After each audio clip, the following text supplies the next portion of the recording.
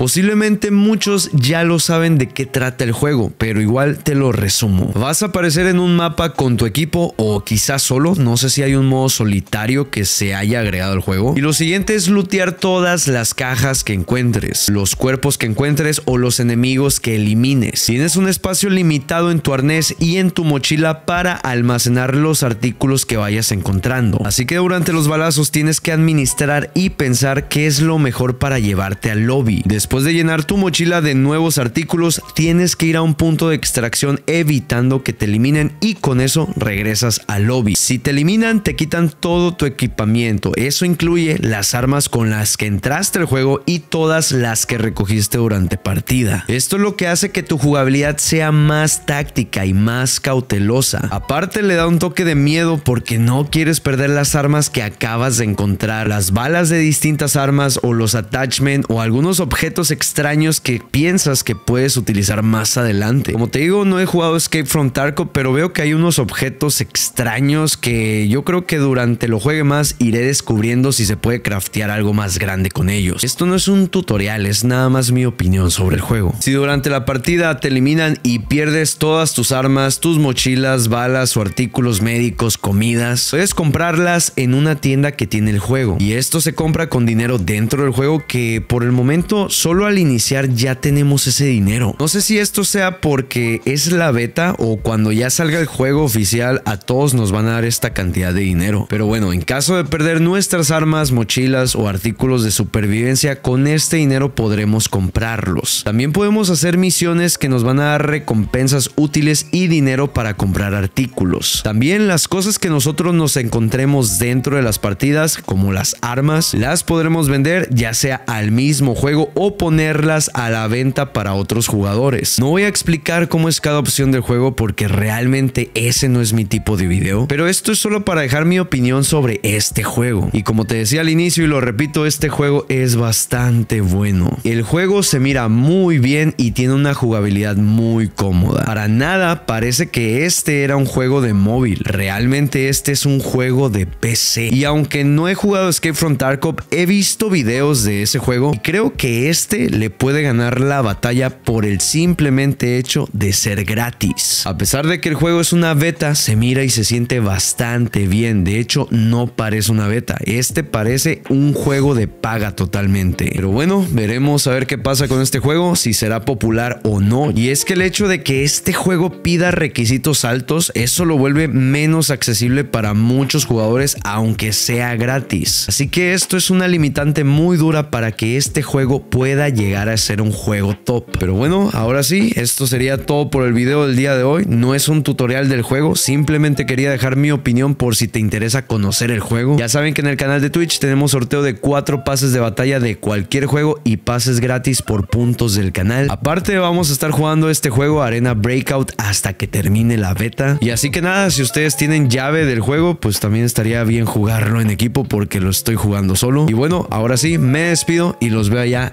en el canal de Twitch.